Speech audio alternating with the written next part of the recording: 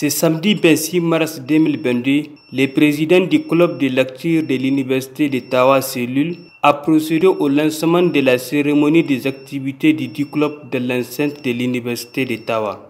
Ce lancement est couplé à une double conférence dont le premier thème porte sur la lecture et ses avantages, et le second sur une étude détaillée de l'œuvre du célèbre écrivain Mohamed Halilou Sabo Aboki ou l'appel de la côte.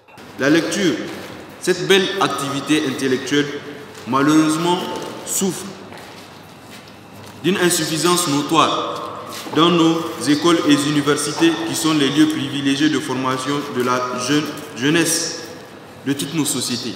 Dès lors, comment susciter la culture de la lecture tant en milieu scolaire qu'en milieu universitaire?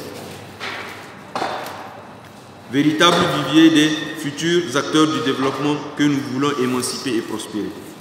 C'est le défi que nous nous sommes engagés à relever, nous, club de lecture de l'Université d'Ottawa, en nous donnant comme leitmotiv la sensibilisation pour la promotion de la lecture tant en milieu scolaire qu'en milieu universitaire. À l'issue de la première conférence animée par M. Hassan Mamman, plusieurs participants ont pris la parole tour à tour pour poser des questions d'éclaircissement dont les réponses appropriées ont été données par les conférenciers. A noter qu'enfin le club de lecture de l'Université d'Ottawa a été créé le 2 février 2020